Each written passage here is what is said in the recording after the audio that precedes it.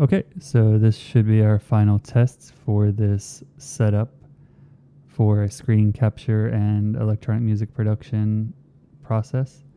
Uh, what we've done is we've enabled the ability to record a mic over the desktop, enabled the ability to play audio from a YouTube or other source, and also capture the output of a DAW, in this instance, Ableton Live 11 uh, through our audio interface and routing through a screen capture software, uh, in this instance, GeForce Experience Shadowplay.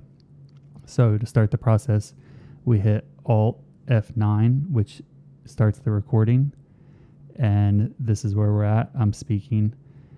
Uh, typically, that's for most users how it would go. In this instance, the way I have it routed, I actually created a template in Ableton Live which enables me to capture the voice from the desktop. Um, so that's technically the first step. If we look at Ableton, I've got that loaded up and my voice is in this channel. Uh, we'll go back to that in a couple of minutes, but that's how we're capturing it right now, my voice anyway. Uh, before that, though, you need your audio interface set up properly. So I'm going to show my examples. In the control panel of the interface, I have sample rate, sample rate buffer set as these. I have the phones assigned to phones, main out one and two, and phone return set to main out one, two. The next setting you want to look at is the Windows setting, which I have set to Motu phones one, two. And then we also have a control panel mixer app that enables us to do various things. So I have had the trim turned up. I have this set to stereo so that the input of the mic doesn't come in at mono and only play through the left channel. Uh, initially, that was an issue I had, uh, but now we've sorted that out. And so you should be hearing my voice through the left and right of your speaker or headphones. Um, so that said, everything is good in there. We can minimize that. We've looked at our audio interface settings here. We can get rid of those. And here's our template we built in Ableton. Uh, we'll go to that to finalize the process.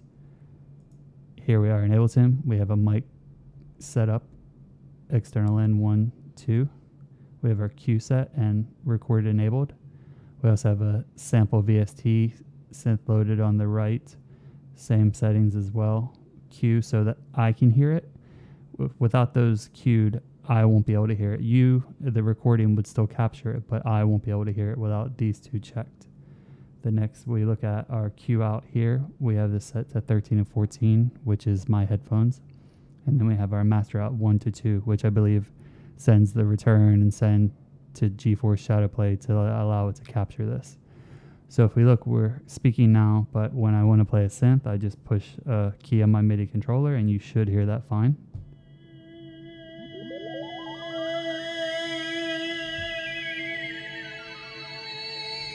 Okay.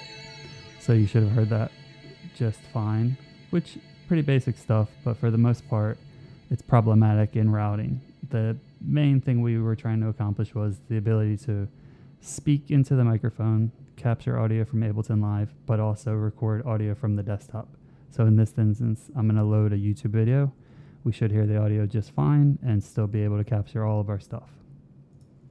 So I'm going to just play this sample video.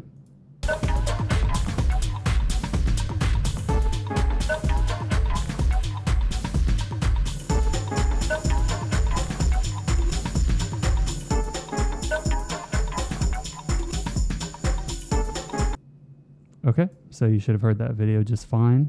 It works for any video, any other app uh, with this setup. And so we're back in Ableton. We're with our mic. Uh, if you were recording audio and you didn't want the mic kind of feedback, if you were concerned with that, you would just unrecord enable.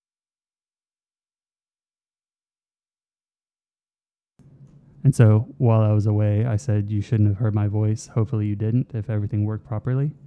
And uh, yeah, so that's the basic setup. We've got, you know, everything routed properly. Everything's pretty clear, and uh, we're able to like, you know, play music and produce while we're screen capturing and also speak. So this would be the ideal setup for anyone trying to do video tutorials or kind of make uh, electronic music live on a video for stream or for uh, you know just uploading to YouTube to show people what you're working on.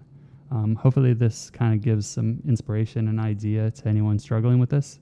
And if you have any questions, please feel free to reach out and ask. I'll help. And uh, appreciate you. Have a good day. Bye.